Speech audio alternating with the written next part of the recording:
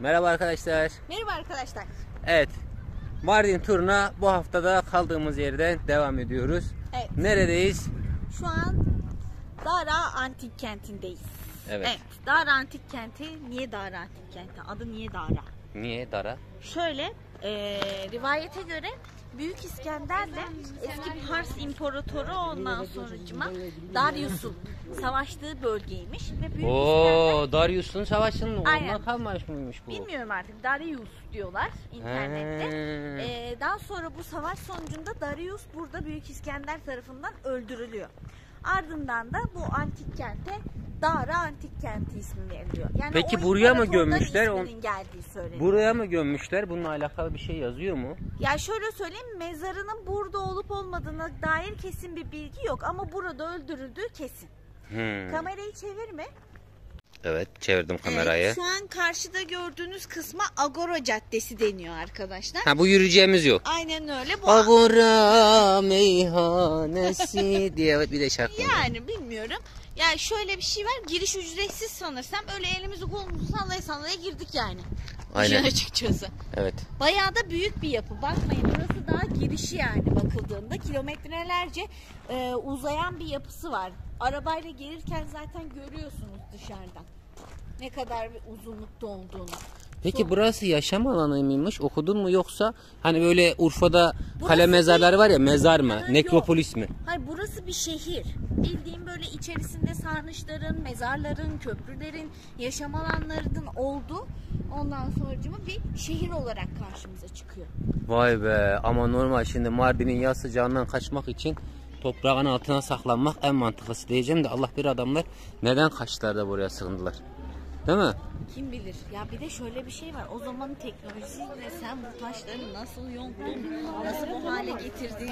Gerçi kireç taşı da meşhur. Yani hani belki de kireç taşı kolay yontulabildiği için çok da zorlanmamışlar. Zaten en büyük sebep kireç taşının kolay yontulması.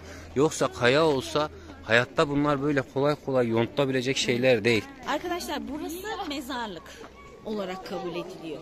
Bu kısım önceden böyle aşağı taraf taş ocağı gibi kullanılıyorken daha sonra da mezarlık olduğu anlaşılmış. Mezarlığa çevrilmiş bu kısım. Hmm. Hadi içeriye gidelim bakalım. İçeride ne varmış? Buraların içine çıkılabiliyor mu? Girilebiliyorsa içlerine de girelim. Evet bakalım. Şimdi şöyle bir yer bulduk. Yaklaşık yüksekliği 30 metre falan var. Vallahi ben bilmiyorum. Benim sayılarla. Aynen. Kocaman bir yüksekliği var. Şimdi bu bölüm daha doğrusu bu yapı Doğu Roma İmparatorluğu'nun doğu sınırlarını Sasanilere karşı korumak için yaptırılmış askeri bir garnizon olarak da kullanılmış. Böyle de bir durumu var. Bunun başka yerleri de var. Bir aşağı tarafa inelim bakalım kocaman bir sarnıç resmi vardı. Orayı bulabilecek miyiz? Zindan diyorlardı ama bakalım. Ama güzel. Şehir merkezine 30 kilometre mesafede. Evet, Çok sürmüyor. Çok rahat gelebilirsiniz. Aynen. Güzellikle gelinip gezilebilecek bir olduğunu ben düşünüyorum. bir sarnıcın içerisindeyiz. Cam zemin üzerinde yürüyoruz. Ee, zemin alçak ama nedense beni bir ürkütüyor, korkutuyor. Ürkmeye ürkecek bir şey yok. Burası iyi. Evet. Bir de şimdi şu odaların yapısını inceleyelim. Bakalım neler yapılmış. İçinde neler var. Tabi bak böyle kireç taşından oyma olduğu için hayatım Evet. rahat rahat istedikleri şekilleri verebilmişler. Yani şimdi bunların kimisi kapı, kimisi mezar girişi Evet. olarak ifade ediliyor. Eskiden ne var bu kapılardan su akışı ve ondan sonra girişi ve çıkışı oluyormuş galiba. Ondan Olabilir. Sonra suyun o giriş kısımları kuzey yönünü, çıkış kısımları güney yönünü gösteriyor gibi bilgiler de var. Evet. Buradan bak mesela buradan buraya geçişler de var. Buradan da geçilebiliyor. Buradan şöyle gelip buradan da geçilebiliyor. Burası biraz daha şey. Diğerlerinden göre daha düzgün yapılmış mesela. Bak mesela işlemeleridir. Hani işlemeleri daha doğrusu oymaları falan böyle daha aynen yontulması daha düzgün yapılmış. Belki de önceden burası mesela yüklük olarak kullanılıyordu. Olamaz mı? kim bilir. Engin arkeolojik bilgilerimizle burada yorum yapıyoruz. Evet. Valla tarihini araştırdık. Çok bir şey bulamadım yani. Hep bir şey diyorlar. Genellikle zaten antik kentlerin yapıları diğerleriyle aynı kafada. Evet. Evet arkadaşlar şu anda Dar Antik Kenti zindan kısmına geldik. Cehennemden bir parçaya gelmişiz gibi görünse de lakin burası kırmızı kırmızı gözüküyor ya. evet o da ilginç. ama burası Tam zindan. yani. Aynen öyle. at- Atılanın buraya çıkma ihtimali yok. Vallahi billahi yok. serinlik açısından da efsane. ha. Aynen. Yazın çok iyi gideri var da kışın dolu. Kaç metre bak yüksekliğe baksana. Yükseklik kaç metre? Vallahi billahi. Yukarıdan baktığında da hiç aşağı indiğinde böyle bir yapıyla karşı karşıya kalacaksın. Aynen öyle. Yukarıdan hiçbir şey görmüyorum. Bak şimdi yukarı çıkalım yukarıdan da göstereyim. Hani dersiniz ki hem burası neresi? Cehennemde yanıyormuşum cayır cayır renklere bak. Değişik. Otantik bir yer. Serin ama. evet evet. Yani rengine rağmen serin bir yer yani. Şuradan bir çıkış da var. Şu çıkışa da bakalım bakalım. Çıkış değil daha doğrusu. Kapı gibi bir yer var. Evet. Buradan da gidince daha küçük bir odaya açılıyor burası. Şey vardı hatırlıyor musun İshak Paşa Sarayı'nda? Evet. Zindanda. Evet. Bak. Şöyle Aynen. buradan ışığı alabiliyoruz. Tavan kısmı da bu şekilde.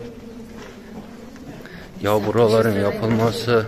Zindan gibi ama burası daha derin. Aynen. Yalnız bir de şunlara bak. Bak bak bak. Kesme taşlara bak. Kocaman kocaman. Hep de- böyle kocaman. Bunu taşımak da bir Tahmin eziyet. Ne kadar yüksekliktedir? 5 var mıdır? Vardır. Vallahi bayağı bir yüksek ya. 5 mi? 5'ten fazla. Aşkım ben 1.75'im hesapla. İşte 1.76'yım hesapla. Kaç metre oldu onu? 10-20 Benim var o üstüne zaman. benim üstüne 1 2 3 iki tanesi zaten iki buçuk tanesi bir 75 76 yapıyor. Şu 2 metre sen 4 6 8 10 12 14 16 18 30 metre falan var. Aynen 20 30 metre falan var. Ama şey böyle ferah. Güzel bir beyaz floresan ışıklandırma yapılsa buraya bayağı ferah bir yer. Bir bir şey söyleyeceğim bak. Mesela bu açıdan baktığında farklı renk çıkıyorsun. Buradan Evet. baktığında böyle bildiğin farklı böyle bir kı- Aynen. kızarıyor bir şey oluyor. Aynen aynen. Kam- değişiyor. kamera alıştı. Işığın rengini. Bakmadan hiç. Hadi gel Güzel. birkaç resim çekinelim. evet. Evet. Evet. Zindanda gezip fotoğrafları çektikten sonra yavaştan artık yukarıya doğru çıkmanın vakti geldi diyoruz. Evet yine merdiven çıkıyoruz. Evet. Allah'ım merdivenlere çıktık. Şimdi geliyoruz dış kısma. Bakın dış kısmı nasıl? Tada! Dış kısmı bu. Böyle.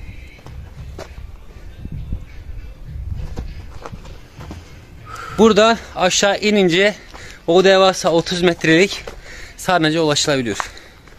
Bunlar antik kentin içinde ka- geriye kalan surlar olarak geçiyor. Şurada bir tane kemerli yapı görüyorsunuz. Şura. Bu kemerli yapıya da genellikle görüldüğü üzere köprü diyorlar zaten. O var. Ya aslında bakarsan köyün geneli baktığın zaman sanki bir antik kentin göbeğinde kalmış yani yeniden yapılmış insanlar yerleşmek için Evet. gibi duruyor. O var. Antik kent insanları sonradan çocukları, torunları böyle evlerde oturmaya başlamışlar. Onun haricinde baksanıza şu karşıda yine bir yapı var yıkılmış. böyle Bildiğin surlarla çevriliymiş gibi. Aynen. Biz kaç taraftan gelecektik de terste, terste kalmışız. Burayla orası arasında pek bir fark olduğunu düşünmüyorum ben şahsen. Aynen. İki tarafta aynı görünüyor çünkü. Burası Dara Köyü aynı zamanda. Dara Antik Kenti geçtiği için şu an günümüzde de Dara Köyü olarak geçiyor. Evet. Mesela buralarda da var yine böyle. Evet. Hemen ayağımızın altında. Resmen Böyle küçük küçük kalıntılar. Tarihi kesme taşlar var yani. Aynen. Surlardan kalan. İlginç. Köyün içi de güzel ha. Anam küçük küçük çocuklar. Hep böyle etrafta dolanıyorlar. Güzel bir yer yani. Tatlı bir yer. Mardin'in genel etnik yapısına da uygun bir yer. Bak, Aynen. Hadi Hepsi biz gene çatısız, damsız, düş, e, düz, düş diyorum. E, taştan evler. ama normal hayatım. Şimdi sıcak olunca evde yatmak zor oluyor. Ama şimdi mesela dama taht atıyorlar. Taht derler bizde. Urfa'da da var mesela. Taht atarız dama. Damda akşamları serinde uyuruz. O çok güzel olur. Yoksa evin içinde, evin içi adamı boğar ya üstüne otur. Ancak klima oturup çalışıp şey yapman lazım. Çalıştırman lazım. Ha, klima O da çalıştırman Her yerde lazım. o teknolojiyi nereden bulacaksın? Hele onu geçtim. Bu elektrik parasıyla klimayı nasıl çalıştıracaksın? O da ayrı bir mesele. Neyse Eğer burayla alakalı herhangi başka bir şey bulursak buradan eee, çekeriz. Eğer burayla alakalı başka bir şey bulamazsak yolda bir yerde kapatırız videoyu diyelim artık. Tamam. Tamam. Hadi bakalım.